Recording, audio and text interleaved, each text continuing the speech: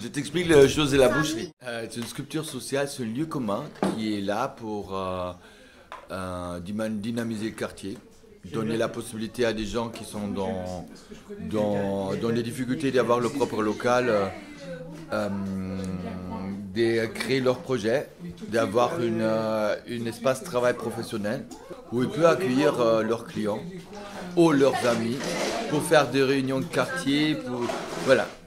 Aujourd'hui, la boucherie des arts, il est complètement autonome. Il y a un commun maintenant qui gère le lieu, qui me tient en courant où je dois demander si j'ai le droit de l'utiliser. Il y a un petit modèle économique qui s'est établi avec, euh, avec, avec une, euh, une, euh, une loyer qu'on paie maintenant à la propriétaire. On l'idée, c'est d'être indépendant de, tout ce qui est institution euh, parce que je trouve c'est important. On peut pas dire tout le temps au gouvernement, à la commune de tout payer euh, parce que c'est l'art. Non, on doit aussi comme artiste réfléchir à des modèles. Bah, bref. On ne va pas parler d'argent, on a parlé de la boucherie. Quoi, je fais connaissance de plein de gens ici dans le quartier qui soutiennent le projet.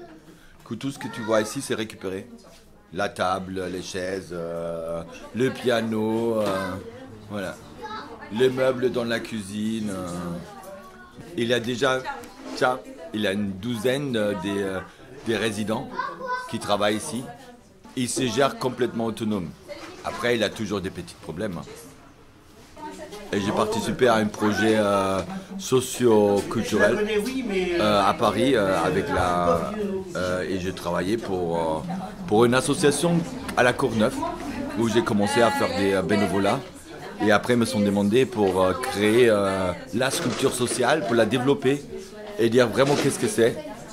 Et ils me sont fouettés et du coup j'ai créé ce projet et je l'ai installé à Champigny et à la Courneuve en éphémère.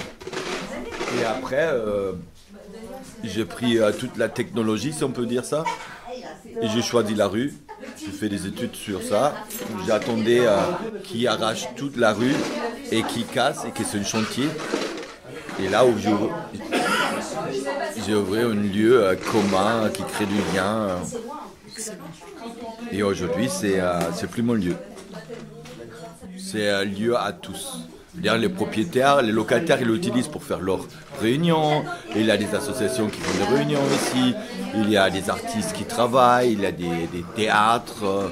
Il y a des, cours de théâtre, des cours des... Euh, des euh, voilà, il y, a, plein de choses.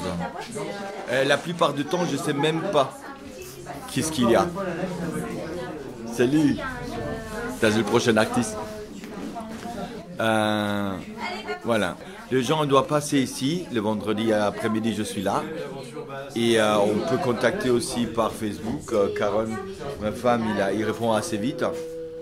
Et on refuse personne.